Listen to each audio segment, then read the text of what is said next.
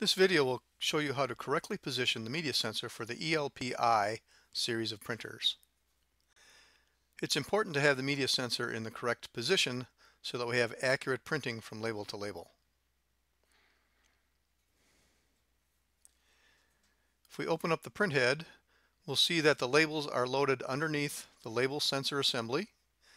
The label sensor is the yellow LED light and there is a tab that allows you to move that sensor left and right. You want to be careful so that it's not positioned in the gap in between labels if you have a multiple across. Just make sure that the light is located over one of the labels. Then you can lock down the printhead, press the green feed key, the printer will calibrate for the label size. Always press feed one or two more times to make sure you get one row at a time. If your product had a sight hole or a sensor notch, you'd want to line up the sensor over the hole or notch. If you have any further questions, please give us a call 800 533 2559. Thanks for watching.